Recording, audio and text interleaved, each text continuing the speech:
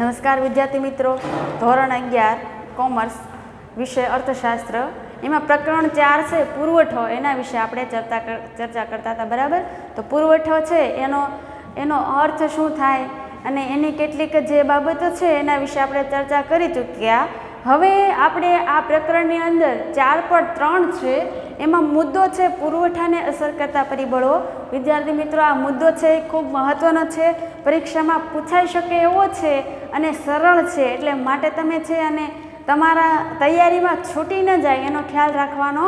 અને અહીંયા તમને જે ભણાવવામાં આવે છે વિડીયોની અંદર, એના આધારે ટેસ્ટ પેપર નીકળશે, બરાબર? ટેસ્ટ પેપરમાં તમે માર્ક ખૂબ ગુમાવો છો.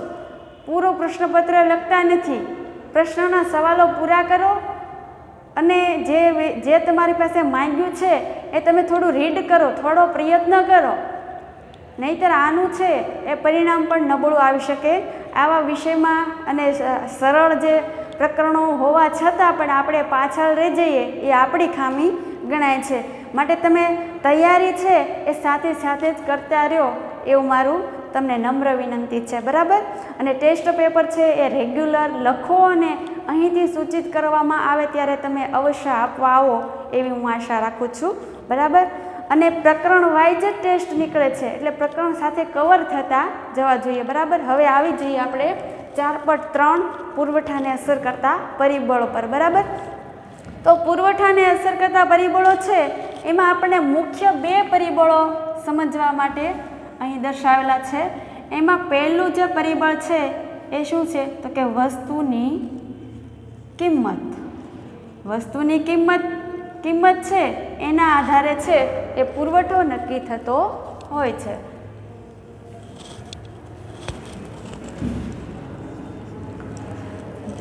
હવે જોઈએ, અને બીજું જે પરિબળ છે એને આપણે અન્ય પરિબળ તરીકે દર્શાવ્યા, કેમ કે એમાં ઘણા બધા પરિબળોને સમાવવાના છે. વસ્તુની કિંમત સિવાયના પરિબળો. શું કીધું બીજું? તો કે વસ્તુની કિંમત સિવાયના પરિબળો. બરાબર? આ જે છે, આની અંદર કોઈ પરિબળના, પેટા પરિબળો આપેલા નથી. પણ આ વસ્તુની કિંમત સિવાયના પરિબળો છે. એની અંદર આપણને પેટા પેટા વિભાગની અંદર જે પ્રકારો આપેલા છે. અહીં આપણે માત્ર આ પરિબળની વાત કરીએ તો વસ્તુની કિંમત આધારિત બાબતો લેવાની છે. તો કે વસ્તુની એવી કેવી બાબતો, કિંમતની કેવી બાબતો હોય છે કે જેની અસર પુરવઠામાં વધારો કે ઘટાડો કરી શકે છે? તો કઈ રીતે તો જોઈએ કે કિંમત એ પુરવઠાને અસર કરતું મહત્વનું પરિબળ છે. આપણે અગાઉના ચેપ્ટરમાં પણ જોઈ ગયા કે કિંમતના આધારે પુરવઠો નિર્ધારિત થાય છે અને કિંમત અને પુરવઠ પુરવઠો એ પરસ્પર સંબંધિત છે. એટલે આ મહત્વનું પરિબળ છે પુરવઠો નક્કી કરવા માટેનું, બરાબર? તો પુરવઠો નક્કી કરવા માટેનું મહત્વનું પરિબળ તો કિંમત છે અને મહત્વના નફા માટે કામ કરતો વસ્તુ ઉત્પાદનની કિંમત વધે તો વસ્તુનો વધુ પુરવઠો વેચવામાં આવે. હવે મહત્તમ નફા માટે કામ કરતો ઉત્પાદક, એટલે કોઈ એક્સ વાય ઝેડ વ્યક્તિ છે, બરાબર? એ વ્યક્તિ છે એને જો ઉત્પાદક વસ્તુની કિંમત વધે, હવે જો કોઈ વસ્તુની શું વધે? તો કે કિંમત. જો વધે, તો એની સરખામણીમાં કઈ બાબત તરફ જશું? તો કે વસ્તુની કિંમત જો વધે, તો વધુ પુરવઠો વેચવા તૈયાર થાય. તો એના આ વ્યક્તિ છે એ શું? તો કે વધુ પુરવઠો ઉત્પાદન કરશે. ઉત્પાદન કરશે અને વેચવા માટે એ એ જે પુરવઠો છે એને બજારમાં મૂકશે, બરાબર? આ જે પ્રક્રિયા છે, એની અસર આપણે, એની એની અસર આપણે સહજ રીતે કહી શકીએ કે પુરવઠા પર વસ્તુની કિંમતની અસર થાય છે. હવે જો કિંમત ઘટે, આની સરખામણીમાં આપણે કહીએ કે જો ઘટે, તો શું? તો કે ઉત્પાદક છે એ આની સરખામણીમાં ઓછું ઓછું પુરવઠાનું ઉત્પાદન કરશે અને પુરવઠો છે એ બજારમાં ઓછા પ્રમાણમાં આવશે. એટલે જો અહીંયા મુખ્ય વસ્તુ કઈ છે, તો કે કિંમત. જો કિંમત વધે, પુરવઠો, પુરવઠાનું ઉત્પાદન વધે અને બજારમાં વેચાણ માટે પુરવઠો છે એ વધુ મુકાય. અને એનાથી વિરુદ્ધ જો કિંમત ઘટે તો પુરવઠાનું ઉત્પાદન ઓછું થાય અને બજારમાં પણ વેચવા માટે એ પુરવઠો ઓછો ઓછો આપણને મળે છે. એટલે મુખ્ય વસ્તુ વસ્તુની કિંમત પર જે કિંમત છે, એની અસર છે, એ આપણને કિંમતની સીધી અસર પુરવઠા પર થતી હોય છે. બરાબર? હવે જોઈએ વસ્તુને અસર કરતા, વસ્તુની કિંમત સિવાયના પરિબળો કયા છે? એના વિશે આપણે જોઈએ. આ પહેલું જે મુખ્ય મુખ્ય જે પરિબળ છે એની, એના વિશે આપણે સમજ્યા. હવે બીજું પરિબળ કે વસ્તુ સિવાયના અન્ય પરિબળો. અન્ય પરિબળોની અંદર આપણે કેવા પરિબળો આવશે એના વિશે જોઈએ. તો એમાં આપણને પહેલું પહેલું જે છે, પહેલું પરિબળ વસ્તુની સિવાયના પરિબળ અન્ય પરિબળોમાં પહેલું પરિબળ આપ્યું છે કે ઉત્પાદનના સાધનોની કિંમત. શું કીધું? પહેલું ઉત્પાદનના સાધનોની કિંમત.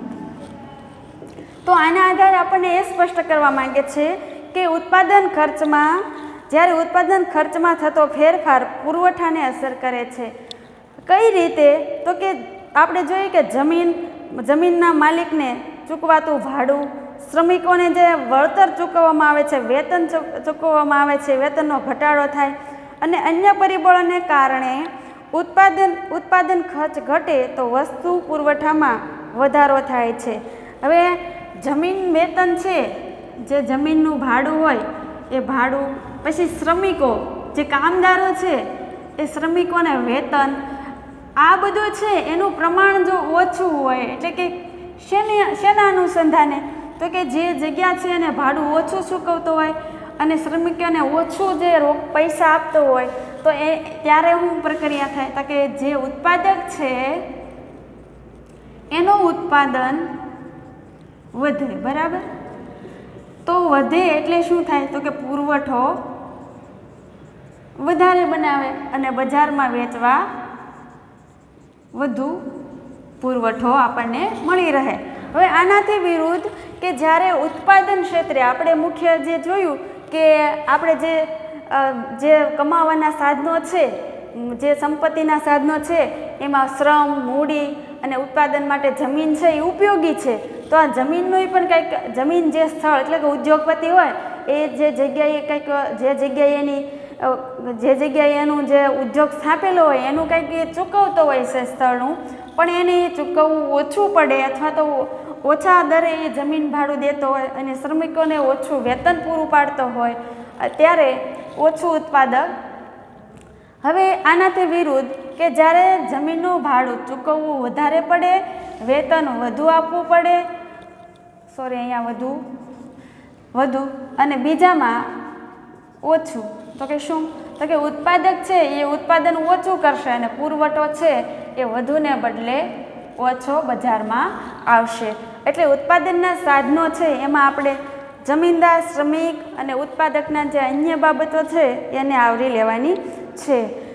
અને આગળ આપણને કીધું છે કે વસ્તુનો પુરવઠો પણ ઘટે. આમ સાધનોની કિંમત વસ્તુના પુરવઠા સાથે છે. શેના સાધનો? તો કે ઉત્પાદનના જે સાધનો, એમાં પછી વ્યક્તિ હોય કે પછી કોઈ બી યંત્રો હોય એ એ દરેક છે એ ઉત્પાદનના સાધનો ગણી શકાય છે, બરાબર? હવે એનું બીજું અન્ય પરિબળ છે, એની અંદર છે ટેકનોલોજીની કક્ષા. શું છે? ટેકનોલોજીની કક્ષા. એટલે કે આમાં યાંત્રિક સામગ્રી જે બનાવટ છે, ઉદ્યોગ ક્ષેત્રે ઉત્પાદિત સાધનો છે, એની વાત કરી છે કે ટેકનોલોજીના વિકાસને કારણે આપણું શું બચવું એટલે કે સમય શક્તિ અને નાણાંનો વ્યય થતો ઓછો થયો, બરાબર? તો હવે નાણાં આ જે છે, આની શું થશે? વ્યય ઓછો. વ્યય એટલે વ્યય ન થાય. અથવા તો બચત, બરાબર? એ ટેકનોલોજીની કક્ષા છે, એ ઉત્તરોત્તર વિકાસ પામવાથી સમય, શક્તિ અને નાણાંનો વ્યય ઓછો થયો, બરાબર? તો હવે અને ગુણવત્તાયુક્ત ચીજ વસ્તુઓ ઓછા ખર્ચે વધુ ઉત્પાદન શક્ય બની. કેવી વસ્તુઓ? તો કે ગુણવત્તાક્ષમ. ગુણવત્તાયુક્ત વસ્તુ. આ જે વસ્તુ છે, એ ઓછા ખર્ચે. ઓછા ખર્ચે વધુ ઉત્પાદન. કઈ રીતે? તો કે આપણે જોઈએ પહેલાંનું પહેલાંનું ઉદાહરણ જોઈએ તો પહેલાં જે સુરતમાં મોટી મોટી કાપડ ઉદ્યોગની મિલ હતી, એમાં વધારે શ્રમિકો જતા હતા, વધારે સાધન સામગ્રી જોતી હતી. અને આ છે આના આમાં ખર્ચો વધારે થતો હતો. પણ અત્યારે સમયા સમયગાળા દરમિયાન, અત્યારના સમયગાળા દરમિયાન એની અંદર કેટલાક ટેકનોલોજીકલ યંત્રો જે સ્થાપિત થયા છે, એના કારણે સમય પણ ઓછો, સમય પણ બચે, શક્તિઓ શ્રમિકોની ઓછી શ્રમિકોની શક્તિ પણ બચે અને જે નાણાંઓ શ્રમિકોને જે આપવામાં આવતા વેતન, એની પણ બચત થઈ. એના કારણે ગુણવત્તાયુક્ત વસ્તુ પણ આપણને પ્રાપ્ત થાય અને ઓછા કરશે ઓછા કરશે ઉત્પાદન આપણે મેળવી શકીએ છીએ. આવા, આવી ઘણી બધી ચીજ વસ્તુઓ છે આજે ટેકનોલોજીના કારણે સરળતાથી અને ગુણવત્તાયુક્ત આપણને મળી રહે છે. તો એના અનુસંધાને આપણને શું થાય? તો કે તેનાથી ઉત્પાદન વધુ વધુ ઉત્પાદન થાય એટલે બજારમાં છે એ વધુ પુરવઠામાં મુકાય છે. ટેકનોલોજી પુરવઠાને અસર કરે કોઈ પણ દેશમાં આધુનિક ટેકનોલોજીનો ઉપયોગ થતો હોય તો ચીજ વસ્તુનો પુરવઠો વધારે જોવા મળે છે. આ જે ટેકનોલોજીનો વિકાસ છે એ દેશના વિકાસના ધ્યેયો કે જે કેન્દ્રીયમાં, કેન્દ્રમાં જે બાબતો રાખવામાં આવે એના અનુસંધાને હોય છે. વિકાસશીલ અને વિકસિત દેશોમાં આ જે કક્ષા છે એની અસરકારકતા ઉત્પાદનમાં વધારે સામ્યતા કે ભેદ ધરાવતી હોય છે. જેમ કે જે વિકસિત દેશો છે, એ અત્યારે ટેકનો, ટેકનોલોજીનો ઉત્તરોત્તર ખૂબ જ વિકાસ કરી ચૂક્યું હોય. પણ જ્યારે જે વિકાસ, હજી વિકાસ વિકસવાના બાકી છે, એવા દેશોમાં ટેકનોલોજીનો હજી મહત્તમ ઓછો વિકાસ થયો હોવાથી એની જે બજારમાં છે આ પુરવઠો છે, એની એ પુરવઠા, પુરવઠો છે, એ ઓછા પ્રમાણમાં મુકાતો હોય છે. એટલે ટેકનોલોજીની જે કક્ષા છે, ક્ષમતા છે, એનો વિકાસ છે, એની અસર આપણે પુરવઠા પર જોવા મળે છે. એટલે આપણે એમ કહી શકશું કે ટેકનોલોજીની કક્ષા એ પુરવઠાને અસર કરતું પરિબળ છે. બરાબર?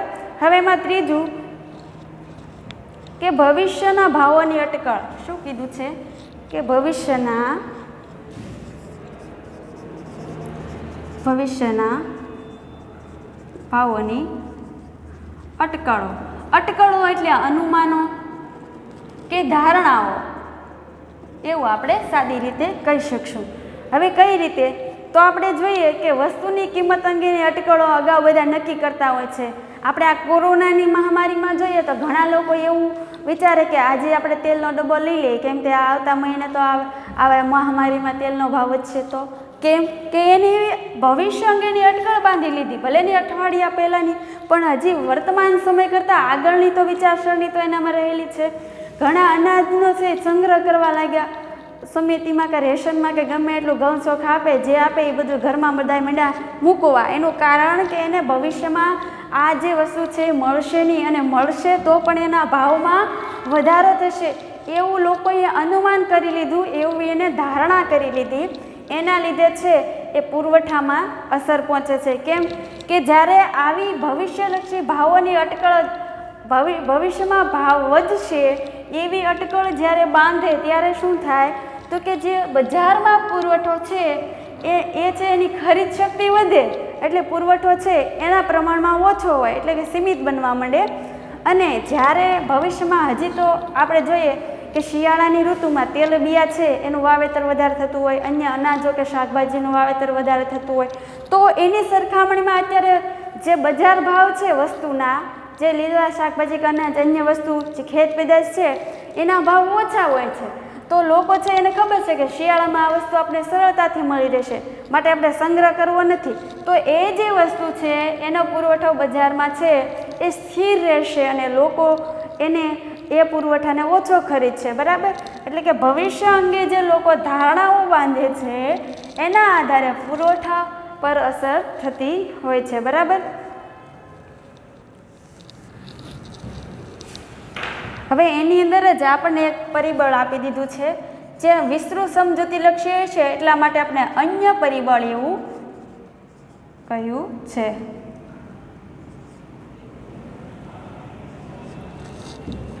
તો એમાં આપણને કહે છે કે વસ્તુ ઉત્પાદન કરતી પેઢીઓની સંખ્યા વધારો થતાં વસ્તુનો પુરવઠો વધારે છે. પેઢીઓ એટલે કોઈ ક્ષેત્રે ક્ષેત્રે કે કોઈ બજારની અંદર જે વસ્તુ છે એમાં કોઈ વિભાગ વાઇઝ, ધારો કે ઉદ્યોગ છે, અત્યારે વસ્તી વધી એટલે વસ- વસ્તુ બનાવવાવાળા વધે. એટલે જે પેઢીઓ છે, એમાં વધારો થાય તો વસ્તુનું ઉત્પાદન છે એનો પુરવઠો પણ વધે છે. પેઢીઓમાં પેઢીઓમાં, પેઢીઓની સંખ્યા જેમ ઘટે આનાથી વિરુદ્ધ, તો જે વસ્તુ ઉત્પાદન છે એનો પુરવઠો ઘટે છે. દેશમાં જ્યારે કુદરતી પરિબળો સાનુકૂળ હોય, એટલે કે જે ઉત્પાદન કરવા માટે ઉદ્યોગો સક્ષમ હોય અને રાજકીય રાજકીય સ્થિરતા હોય, રાજકીય શાંતિ હોય, કાયદો અને કાયદો અને સંસ્થા દ્વારા દ્વારા છે એ યોગ્ય વ્યવસ્થા જળવાઈ રહે. અને રાજકીય સ્થિરતા અને કામદારો વચ્ચે સંબંધો સુમેળ ભર્યા રહે, એટલે કે બધા છે એ સમજીને યોગ્ય રીતે બધા એકબીજા સાથે વ્યવસ્થિત રીતે સાયુજ્ય સ્થાપીને કાર્ય કરતા હોય, જે વચ્ચે ઝઘડાખોરીનું વાતાવરણ સર્જેલું હોય, આવી પરિસ્થિતિમાં વસ્ત આવી પરિસ્થિતિમાં વસ્તુનો પુરવઠો વધે છે. અને આનાથી વિરુદ્ધ જો આવું બધું ન હોય, વ્યવસ્થા તંત્ર, દેશનું અર્થતંત્ર આર્થિક, રાજકીય કે સામાજિક રીતે અયોગ્ય હોય, ત્યારે શું થાય? તો કે આ જે ઉત્પાદનના ક્ષેત્રે પણ એની અસર પડે છે. જેની અસર પુરવઠામાં આપણને જોવા મળતી હોય. આપણે જોઈએ કે જે પ્રથમ યુદ્ધ ને બીજું યુદ્ધ, વિશ્વ યુદ્ધ થયું હતું, ત્યારે જે આર્થિક તંત્રને મોટી ખોટ ક્યારે શા માટે ગઈ? તો કે લોકોમાં અશાંતિ અશાંતિ હતી અને રાજકીય ક્ષેત્રે અરાજકતા હતી. કોઈ પ્રકારના યોગ્ય વ્યવસ્થા પણ ન હતું. તેથી અર્થતંત્રમાં જે પુરવઠો ઉત્પાદન થવાનો હોય, એ ન થતો હતો. એટલે આપણે બેશક એમ કહી શકીએ કે જ્યારે આ બધા પરિબળો યોગ્ય રીતે સમાયોજિત થઈ અને વ્યવસ્થિત ગોઠવાયેલા દેશમાં હોય, ત્યારે દેશમાં યોગ્ય રીતે પુરવઠો આપણે ઉત્પાદન કરી શકીએ છીએ. બાકી નહીં, બરાબર?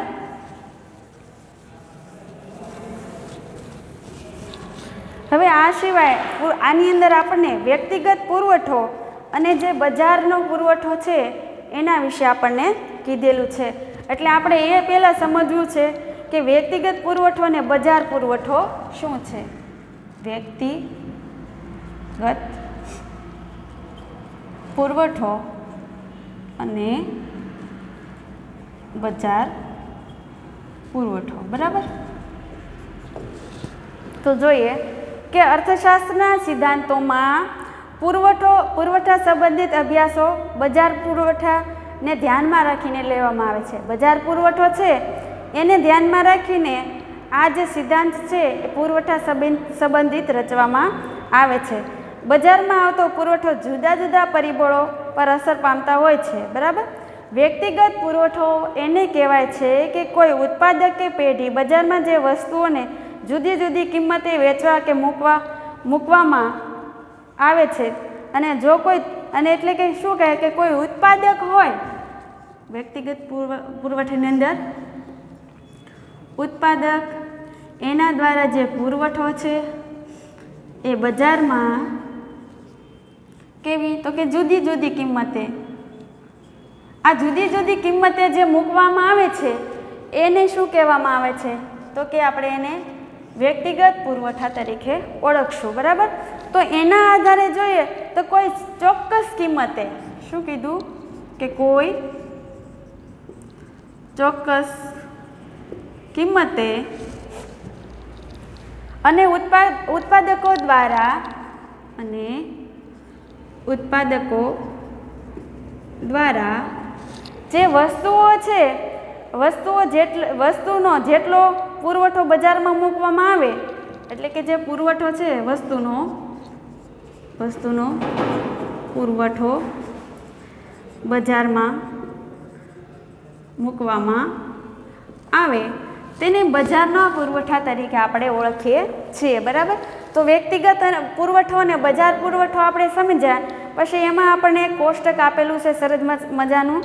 વસ્તુની કિગ્રા, કિંમત, વસ્તુની જુદી જુદી પેઢીઓ, વ્યક્તિગત પુરવઠો અને વસ્તુના બજાર પુરવઠા.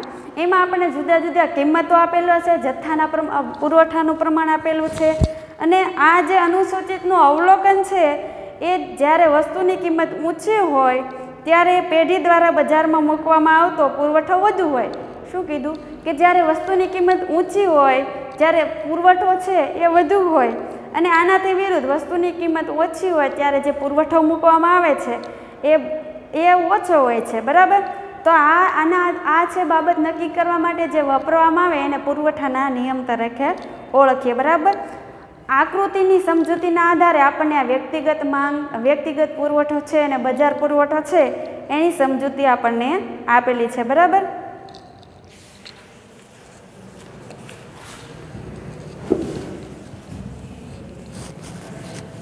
હવે ટૂંકમાં આની અંદર આપણને કહેવા એમ માગે છે કે એ પેઢી ને બી પેઢી, એવા બે ભાગ પાડ્યા જુદી જુદી કિંમતે પુરવઠો રજૂ કરવામાં આવ્યો.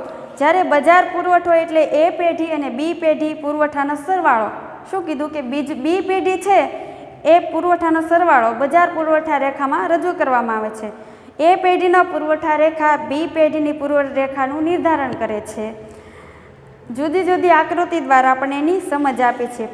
એમાં પુરવઠા રેખા જેવી કે એ પેઢી અને બી પેઢી તેમજ બજાર પુરવઠામાં ધંધા ધરાવે છે. આપણને ઓપ્શનમાં પૂછાય કેવો બજાર પુરવઠોનો ઢાળ છે તો આપણે ધનધાર ધરાવે છે એમ કહેવાય છે. તમામ પુરવઠા રેખા જે તે પેઢીના બજારમાં વેચાણ અર્થે મૂકેલી પુરવઠાનો પ્રમાણ છે. એટલે કે પુરવઠો છે એ પુરવઠોનું પ્રમાણ વધુ ને કિંમત વધુ તેમ ઉપરની તરફ જાય છે. બરાબર? આપણે એક આકૃતાત્મક રીતે જોઈ લઈએ. તો પહેલું છે, એની અંદર આપણને સાઠ, પચાસ, ચાલીસ, ત્રીસ વીસ ને દસ. આ શું આપેલું છે? તો કે કિંમત. બરાબર? હવે અહીંયા છે આપણે જીરો, વાય વાય ધરી, ઓ ધરી. બરાબર? હવે આ પુરવઠો કેટલો છે? તો કે પુરવઠો સો, બસો, ત્રણસો અને ચારસો અને પાંચસો. બરાબર? આ આપણો પુરવઠા રેખા છે. પુરવઠા રેખા. બરાબર? આના આધારે છે આપણે એ પેઢીની એ એ રેખા આપણે બતાવી છે. તો જોઈએ, એની અંદર સો છે. આપણે કોષ્ટક પેલું જે બતાવેલું છે, એને અનુરૂપ સો છે.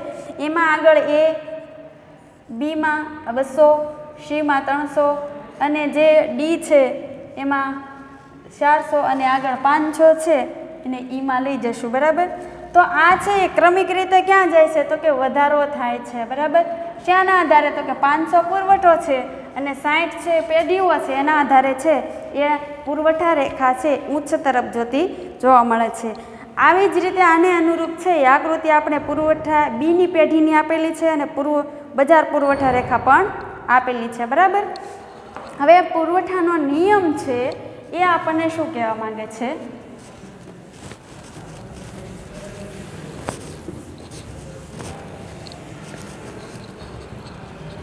પુરવઠાનો નિયમ.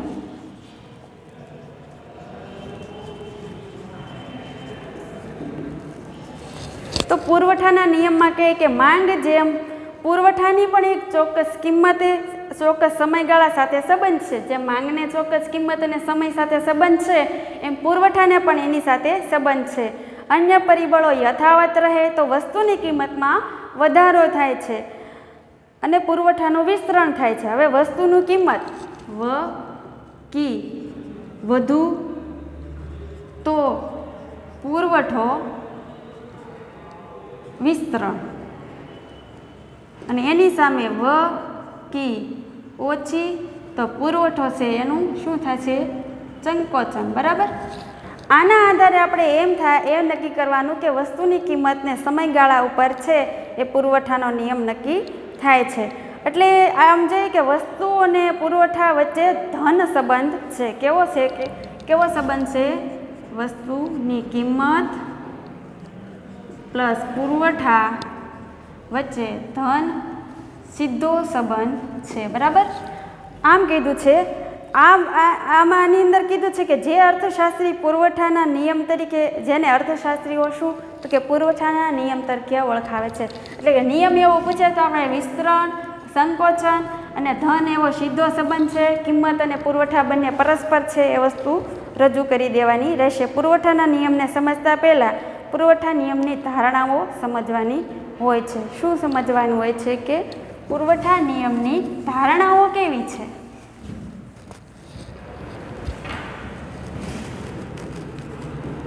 ધારણાઓ તો એમાં કીધું છે કે કિંમત અને પુરવઠા વચ્ચે સંબંધ કેટલીક ધારણાઓ રચવામાં આવે છે. પુરવઠાને અસર કરતા વિવિધ પરિબળો પૈકી કિંમત સિવાયના જે પરિબળો હોય છે, એટલે કે અહીં એ ધારણા કરીને કહેવામાં આવે છે કે માત્ર પુરવઠા પર માત્ર કિંમતની જ અસર નથી કરતી, પણ ઘણા એવા પરિબળો હોય છે કે પુરવઠાનો નિયમ એના આધારે પણ બને છે. એટલે કે કિંમતની સરખામણીમાં અન્ય પરિબળો પુરવઠા પર અસર કરે છે. વાસ્તવમાં અન્ય કિંમત સિવાયના પણ ઘણા એવા પરિબળો હોય છે કે જેની પુરવઠા પર અસર થતી હોય છે. જેમાં આપણે જોઈએ તો કે પુરવઠામાં સાધનોની કિંમતમાં વધઘટ. શું કીધું? સોરી ઉત્પાદનના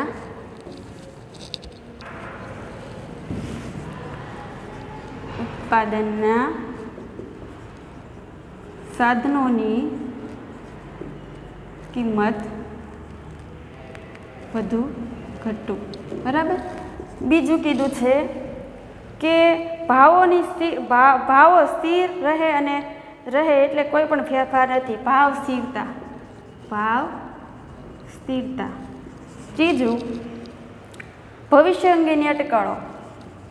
ભવિષ્યની અટકળો. પણ શેના શેના અનુસંધાને તો કે કિંમત? ચાર સરકારી નીતિ. સરકારની નીતિ. આ સિવાય શું છે? તો કે વાહન વ્યવહારની સગવડ, વાહન વ્યવહારની સગવડ. અને છેલ્લું એમાં છે કે કુદરતી પરિબળો અને પેઢીની સંખ્યા. કુદરતી પરિબળો અને પેઢીની સંખ્યા, બરાબર? આ જે બાબતો છે, એની અસર છે, એની નિયમની ધારણા આધારિત છે. ઉત્પાદનના સાધનોની કિંમત જો વધારે હોય, વધુ ઘટું થતી હોય અને ટેકનોલોજીની કક્ષા સ્થિર રહે બીજા શબ્દમાં કહીએ તો ઉત્પાદનના સાધનોની કિંમત સ્થિર રહે. એટલે કે જો યંત્રોના ભાવ વધે, તો ઉત્પાદનમાં પણ ઘટ થાય. કેમ કે ઉત્પાદન માટેના જે સાધનો છે એ કિંમતી બને, તો એમાં પણ પુરવઠા પર અસર પડી શકે. ભાવ સ્થિરતા તો કે અન્ય વસ્તુના ભાવો પણ સ્થિર રહે અને તે, તેમાં પણ કોઈ પણ ફેરફાર થતો નથી. ભવિષ્ય અંગેની અટકળો કિંમત એ આપણે જોયું એ પ્રમાણે અને અન્ય પરિબળો કે સરકારી નીતિ, સરકાર છે અમુક વસ્તુના ભાવ, જેમ કે પેટ્રોલ, ડીઝલ છે, એના ભાવ છે એ નક્કી કરતો હોય છે. વાહન વ્યવહારની સગવડતા. જો વસ્તુની હેરફેર કરવા માટે જો વાહનની સગવડતા યોગ્ય હોય, તો એનો પુરવઠો આપણે યોગ્ય જગ્યાએ સ્થળે મળી રહેતો હોય છે. ધારો કે આપણે ઉત્તર બાજુ જાઓ અને તમે દાર્જિલિંગ કે મનાલી બાજુ જાઓ, તો ત્યાં તમને વસ્તુના કિંમત બહુ જ જોવા મળે અને કેમ કે પુરવઠો પણ ઓછો ઉત્પાદન થાય છે એ બીજેથી લાવતા હોય છે. અને કુદરતી પરિબળો છે અને એ સિવાય કુદરતી પરિબળો, જેમ કે જમીન છે એ કુદરત આધારિત કાર્ય કુદરત આધારિત ઉત્પાદન છે. જો વધારે વાવાઝોડું કે અમુક શિયાળામાં જો કમોસમી વરસાદો થતા હોય, એના લીધે છે અનાજનું ઉત્પાદન ઓછું થાય, એટલે પુરવઠો બજારમાં ઓછો મુકાય. એ અસર શેની થાય તો કે કુદરતી પરિબળ ગણાનું અને પેઢીની સંખ્યા, જો વધારે ઉત્પાદન કરવાની સંખ્યા પેઢી વધવું હોય, પેઢીની સંખ્યા, તો પુરવઠો વધુ બને છે. અને જો પેઢીની સંખ્યા ઓછી હોય, એટલે કે ઉત્પાદકોની સંખ્યા ઓછી હોય તો પુરવઠો પણ ઓછા પ્રમાણમાં બનતો હોય છે. તો વિદ્યાર્થી મિત્રો, આપણે આજે પુરવઠાને અસર કરતા મુખ્ય પરિબળો એટલે પુરવઠાનો નિયમ અને પુરવઠાની નિયમની ધારણા આ ત્રણ મુદ્દા છે, એના વિશે આપણે વિસ્તૃત સમજ મેળવી. હવે આગળની જે છે પુરવઠા અનુસૂચિત આકૃતિની સમજૂતી, એના વિશે છે આપણે આગળ અભ્યાસ કરીશું, બરાબર? અને આ પુરવઠાના વિધેય છે એ આપણા સિલેબસમાં નથી, બરાબર? તો એટલે સુધી રાખીએ. આભાર